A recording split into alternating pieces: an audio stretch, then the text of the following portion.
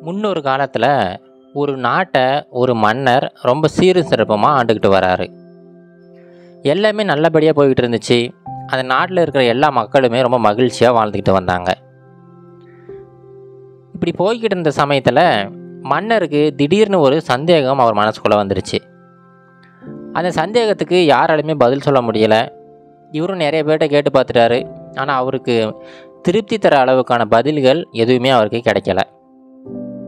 இதனால் நாளடைவில் என்னாச்சுன்னா அந்த விஷயம் அவர் மனசுக்குள்ளாரையே போட்டு போட்டு கொஞ்சம் கொஞ்சமாக அந்த கேள்விக்கான விடை கிடைக்கலையே அப்படிங்கிற விஷயம் அவரை ரொம்ப உறுத்திக்கிட்டே இருந்துச்சு. இதனால ரொம்ப சோகமாயிட்டார். என்னதான் இருந்தாலுமே நம்ம கேள்விக்கான விடை கிடைக்க மாட்டேங்குது அப்படிங்கிற விஷயம் அவர் ரொம்ப பாதிச்சிருச்சு. இப்படியே ஒரு சில நாட்கள் போய்கிட்டு இருந்துச்சு. அந்த சமயம் அவருடைய ராஜ்யத்துக்கு ஒரு ஜென் குரு ஒருத்தர் பயணமாக வந்தார். அவரை பார்த்த உடனே எல்லாருக்கும் மகிழ்ச்சி. மன்னருமே அவரை கூட்டிகிட்டு வந்து அவருக்கான எல்லா உபசரிப்புகளுமே ரொம்ப சீர சிறப்பமாக பண்ணார்.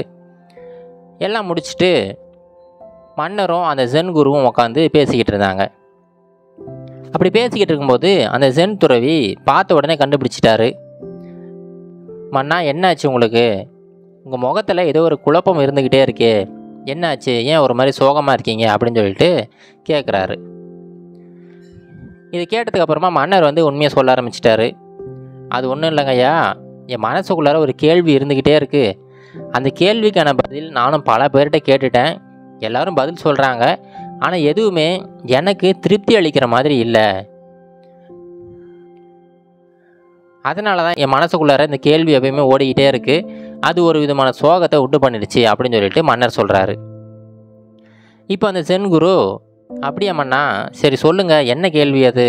என்னால் முடிஞ்சால் உங்களுக்கு உதவி செய்கிறேன் அப்படின்னு சொல்லிட்டு கேட்குறாரு இப்போ அதுக்கு மன்னர் சொல்கிறாரு அது ஒன்றும் இல்லைங்கய்யா இப்போது மனித உடல் இருக்குது மனித உடல்லையே ரொம்பவுமே முக்கியமான உடல் உறுப்பு எது? இப்போ நம்ம வந்து கால்கள் இருக்குது நடந்து போகிறதுக்கு பயன்படுத்துகிறோம் கைகள் இருக்குது வேலை செய்கிறதுக்கு பயன்படுத்துகிறோம் கண்கள் இருக்குது பார்க்குறதுக்கு பயன்படுத்துகிறோம் இந்த மாதிரி ஒவ்வொரு உறுப்புமே அதோட வேலையை செஞ்சுக்கிட்டு இருக்கு. இப்படி இருக்கிற இந்த பல உறுப்புகளில் எந்த உறுப்பு மனித உடலில் ரொம்ப முக்கியமானது? இதை தான் நான் கேட்டுக்கிட்டு இருக்கேன் அப்படின்னு சொல்லிட்டு சொல்கிறாரு இதை கேட்ட உடனே சென் துறவி அவருடைய நாக்கை வெளியில் நீட்டி மண்ணா இந்த நாக்கு இருக்குது பார்த்தீங்களா இந்த நாக்கு தான் இருக்கிறதுலே ரொம்ப சிறந்த ஒரு உறுப்பு இந்த உடம்பில். இதில் எந்த ஒரு சந்தேகமே உங்களுக்கு வேண்டாம் அப்படின்னு சொல்லிட்டு சொல்கிறாரு அப்படிங்களாயா அப்படின்னா இந்த மனித உடல்லையே இருக்கிறதுலே ரொம்ப மோசமான உறுப்பு எது? அதாவது அந்த உறுப்புனால பல பிரச்சனைகளை உண்டு பண்ணுறோம் அப்படிங்கிற மாதிரி அந்த உறுப்பு எது? அதை சொல்லுங்களேன் அப்படின்னு சொல்லிட்டு மறுபடியும் இன்னொரு கேள்வி கேட்குறாரு. இப்போ மறுபடியும் அந்த ஜென் குரு சொல்கிறாரு அது ஒன்றும் இல்லைம்மண்ணா முன்ன சொன்ன பார்த்தீங்களா இந்த நாக்கு தான் இருக்கிறதுலே ரொம்ப ஒரு மோசமான ஒரு உறுப்பு. இந்த நாக்குனால் பல பேருக்கு பல விதமான இன்னல்கள் ஏற்படும். அதனால் இந்த நாக்கு தான் இருக்கிறதுலே சிறந்த உடல் உறுப்பு. அதே மாதிரி இருக்கிறதுலே ரொம்ப மோசமான உடல் உறுப்புமே இதுதான் அப்படின்னு சொல்லிட்டு சொல்கிறாரு இந்த பதிலை கேட்ட உடனே மன்னருக்கு ஒன்றுமே புரியலை. ஐயா நீங்கள் என்ன சொல்கிறீங்க நான் வந்து இருக்கிறதுலே எது வந்து பெஸ்ட்டான உடல் உறுப்புன்னு கேட்டேன். அதுக்குமே நாக்கை தான் சொன்னீங்க. இப்போ இருக்கிறதுலே எது வந்து ரொம்ப ஒஸ்ட்டான உடல் உறுப்புன்னு கேட்டேன். அதுக்குமே நீங்கள் நாக்குன்னு தான் சொல்கிறீங்க எப்படி ஒரு உடல் உறுப்பு ரொம்ப சிறந்ததாகவும் அதே சமயத்தில் ரொம்ப மோசமானதாகவும் இருக்க முடியும்?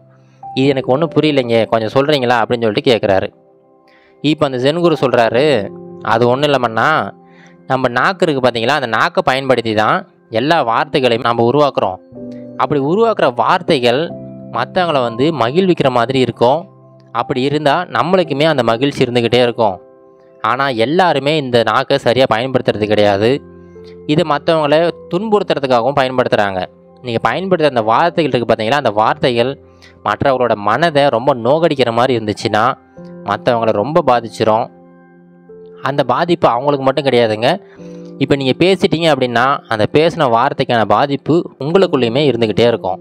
அந்த அமைதி அப்படிங்கிறது நீங்கள் சரியானபடி வார்த்தைகளை பயன்படுத்தலை அப்படின்னா அந்த அமைதிங்கிறது உங்களை விட்டு போயிடும். அதனால தான் சொன்னேன் இந்த நாக்கு அப்படிங்கிறது ரொம்ப ஒரு சிறப்பான ஒரு உறுப்பு. அதே மாதிரி சரியாக பயன்படுத்தலைன்னா அதுதான் இருக்கிறதுல ரொம்ப மோசமான ஒரு உடல் உறுப்பு அப்படின்னு சொல்லிட்டு அந்த ஜென் குரு சொல்கிறாரு இது கேட்டதுக்கப்புறமா தான் மன்னருக்கு அவருடைய சந்தேகத்துக்கான விடை கிடைக்குது. அதுக்கப்புறமா எல்லா சந்தேகங்களுமே தீர்ந்து ரொம்ப மகிழ்ச்சியாக வாழ ஆரம்பிச்சிட்டாரு.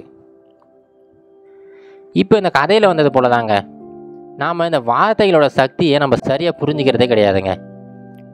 இந்த எல்லா வார்த்தைகளுக்குமே ஒரு சக்தி இருந்துக்கிட்டு தாங்க இருக்குது ஒரு உதாரணத்துக்கு சொல்லணும் அப்படின்னா ஒரு சின்ன குழந்தை ஒரு சூடான பொருளை கையில் எடுத்துக்கிட்டு வரும்போது நீங்கள் எடுத்த உடனே அது கீழே கொட்டிடாத அப்படின்னு சொன்னீங்கன்னா அடுத்த வினாடியே கண்டிப்பாக அந்த குழந்தை அந்த சூடான பொருளை கீழே போடுறதுக்கான வாய்ப்புகள் ரொம்ப அதிகம்.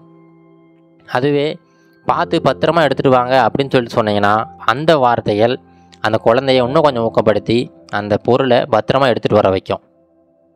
இது எதனால் அப்படின்னா நீங்கள் யூஸ் பண்ணுற அந்த பாசிட்டிவ் வார்த்தைகள் இருக்குது பார்த்தீங்களா அந்த நேர்மறையான வார்த்தைகள் நம்ம மூளைக்கு போய் சேர்றதுக்கு கொஞ்சம் டைம் எடுக்கும். அதுவே அந்த கெட்ட விஷயங்கள் நீங்கள் சொல்கிற அந்த எதிர்மறையான வார்த்தைகள் ரொம்ப சீக்கிரமாக ரொம்ப சுலபமாக மூளையை போய் சென்றடைஞ்சிரும். இது நம்ம பல இடங்களில் பார்க்கலாம் அதனால் எப்போவுமே நீங்கள் தேர்ந்தெடுக்கிற அந்த வார்த்தைகளை சரியாக பயன்படுத்துங்க. நீங்கள் வந்து ஆஃபீஸில் ஒரு லீடராக கூட இருக்கலாம். இல்லை வேறு சில இடங்களில் மற்றவங்கள கைட் பண்ணுற ஒரு மனிதராக கூட இருக்கலாம். அந்த மாதிரி சமயங்களில் அந்த வார்த்தைகளை நீங்கள் சரியாக சூஸ் பண்ணுங்கள் ஒவ்வொருத்தரையுமே நீங்கள் ரொம்ப அழகாக கைட் பண்ணலாம். அந்த நேர்மறையான வார்த்தைகளை பயன்படுத்துனீங்க அப்படின்னா. அதை தவிர்த்து நீங்கள் எதிர்மறையான வார்த்தைகளை பயன்படுத்துனீங்க அப்படின்னா அந்த எஃபெக்ட்டு ரொம்ப அதிகமாக இருக்கும். இதனால் என்ன ஆகும்னா அவங்களுடைய பர்ஃபாமன்ஸும் பாதிக்கப்படும். அதனால் அந்த மொத்த டீமோட பர்ஃபார்மன்ஸுமே பாதிக்கப்படும். இந்த வார்த்தைகள் அப்படிங்கிறது கண்ணுக்கு தெரியாத ஒரு கத்தி போல தாங்க நம்ம ஃபிசிக்கலாக ஒருத்தரை வந்து கத்தியில் வெட்டினா கூட அந்த காயங்கள் ரொம்ப சுலபமாக அதை வந்து ஆறிடும். ஆனால் நீங்கள் சொல்கிற வார்த்தைகள் மற்றவங்கள காயப்படுத்திருச்சுன்னா அவங்க வாழ்க்கை ஃபுல்லாக அந்த காயம் இருந்துக்கிட்டு தான் இருக்கும். அந்த காயத்தை நீங்கள் என்ன தான் முயற்சி பண்ணாலுமே அதை சரி பண்ணவே முடியாதுங்க. ரொம்ப சிம்பிளாக சொல்லணும் அப்படின்னா உங்களுடைய கால் ஸ்லிப் ஆகிடுச்சின்னா உங்கள் காலில் வந்து சுழுக்கு விழும். அதை வந்து நீங்கள் ரொம்ப சுலபமாக சமாளிச்சிக்கலாம். அது சீக்கிரமாக ரெடி ஆகிடும் ஆனால் அதுவே உங்கள் டங்கு ஸ்லிப் ஆகிடுச்சுன்னா அதாவது உங்கள் நாக்கு ஸ்லிப் ஆகி ஏதாவது தவறான வார்த்தைகள் வெளியில் வந்துருச்சுன்னா அந்த வார்த்தைகளை நீங்கள் கண்டிப்பாக சரி பண்ணவே முடியாது. அதனால் இது மட்டும் ஞாபகம் வச்சுங்க. உங்களுக்கு எப்பயாவது ரொம்ப கோபமாக இருக்கீங்க இல்லை உங்களுடைய மூடு வந்து சரியில்லை அப்படின்னா அந்த சமயங்களில் நீங்கள் தவறான வார்த்தைகளை பயன்படுத்துனீங்க அப்படின்னா அந்த எஃபெக்ட்டு ரொம்ப அதிகமாக இருக்கும். உங்களுடைய மூடை வந்து நீங்கள் எப்போ வேணாலும் சரி பண்ணிக்கலாம். ஒரு சமயம் நீங்கள் ரொம்ப கோபமாக இருப்பீங்க ஒரு சமயம் ரொம்ப சோகமாக இருப்பீங்க.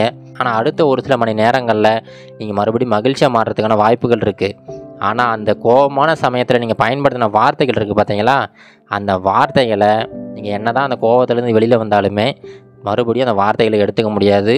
அதுக்கான பலனை மற்றவங்களும் அனுபவிப்பாங்க. அது உங்களையுமே ரொம்ப அதிகமாக பாதிச்சிடும் அதனால் எப்போவுமே நேர்மறையான வார்த்தைகளை பயன்படுத்துங்க. தவறான வார்த்தைகளை தவறான சமயங்களை பயன்படுத்தாதீங்க. அதனுடைய தாக்கம் உங்கள் வாழ்க்கை ஃபுல்லாக தொடரும். இதையெல்லாம் தவிர்க்கணும் அப்படின்னா நீங்கள் வார்த்தையை சரியாக தேர்ந்தெடுத்து சரியாக பயன்படுத்துங்க.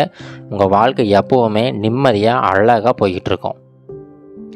இது கரேஜ் டு ஆக்ட் மோட்டிவேஷன் கதைகள்.